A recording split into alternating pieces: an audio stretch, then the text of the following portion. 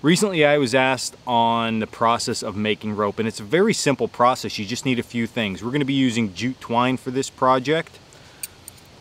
I like to tell individuals to have two nails, one larger, one a little bit smaller. You're going to need an upright, let's call it an upright. That's about the size of our, of our arm from our wrist to our elbow and then something that's comfortable the size of your hand for your handle you have that stuff and you have your axe, which we should all be carrying, you're good to go. So let me show you how to make the rope spinner itself. To make this rope spinner, we basically take our upright that we cut, gonna take our nail and we're gonna drive it through. Now, one thing that could happen, depending on the wood choice that you have, is this can split out. Does that matter? Maybe yes, maybe no. What you can do is put a lashing on the bottom of this piece if you're afraid it's gonna split out.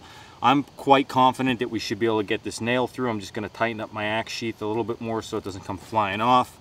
We're gonna get our nail set and just drive that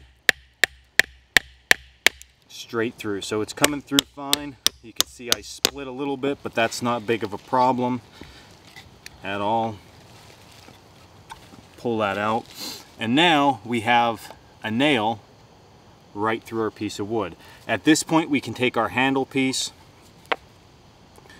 and drive that nail down into the handle piece.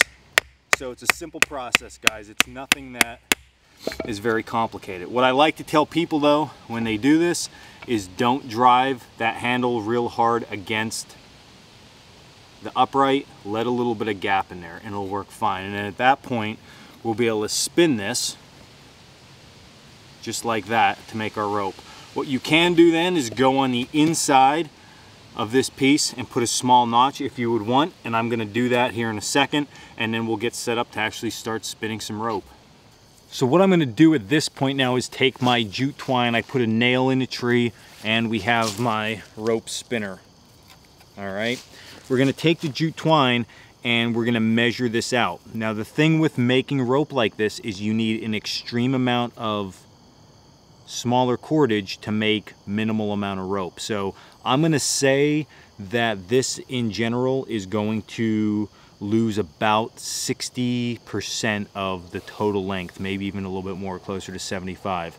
So what we wanna do is take one end, put it around our nail, and I'm just gonna knock this nail back a little bit on this tree so it holds on there good. Okay, I'm gonna walk this way back until I get my desired length of what I'm looking for.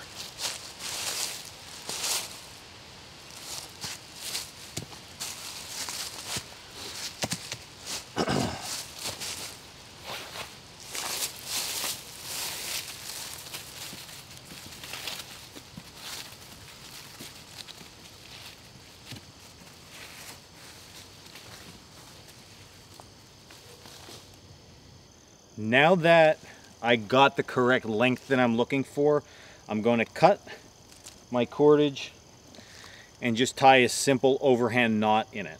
This is nothing fancy whatsoever. All right. We're going to take our rope spinner at this point, place that upright upward like that, and then we're going to begin the spin. Now you need to remember what direction you're spinning in because the next step we're going to spin the opposite way. So I normally start by going clockwise. So all we're going to do is just start to spin this rope spinner just like this. So I'm going to stand for a while and spin and spin and spin some more. People kill themselves with this. It's just a constant motion. Don't wear yourself out. It's going to take a while. If you're making super long strands of rope, it's going to take longer. So just sit stand, I mean, get comfortable, and uh, let the momentum of this swing around. To identify when you're done spinning in one direction, there's two different methods you can do. Number one, either just look at the cordage that you're working with, and if it seems like it is a nice tight wrap, you're probably close to being set where you need to be. The other method is let it go, and if the cordage starts to double up on itself, you're right where you need to be. Once we identified that our line is twisted enough, either by the two methods that I showed you that the tight um, twist looks good or that it's doubling up on itself, we want to pull back and set our, set our line. And what that's doing is setting the fibers in place with that new twist. The next step is usually where people get the most mixed up. This is by far the step that most people get mixed up and it should be very simple for yourself. What we need to do now is triple the rope. So how we triple a rope is very simple.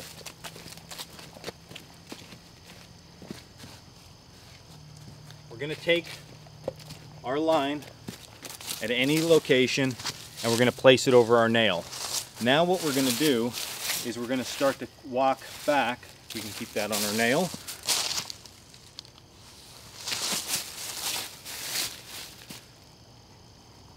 We're gonna start to walk back and slide that line until it's in three pieces. Very, very simple.